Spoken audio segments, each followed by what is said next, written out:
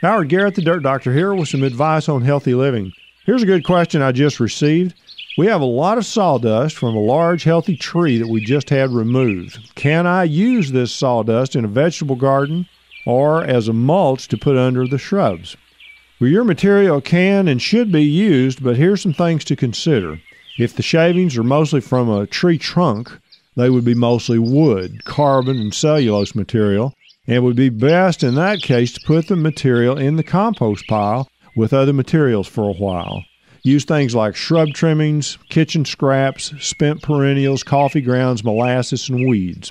After a few months, the mix will be partly broken down and more appropriate to mix into the soil. If the sawdust that you have contains recently living limbs, twigs, leaves, and things like that, it can be used as a top dressing mulch on top of bare soil right now.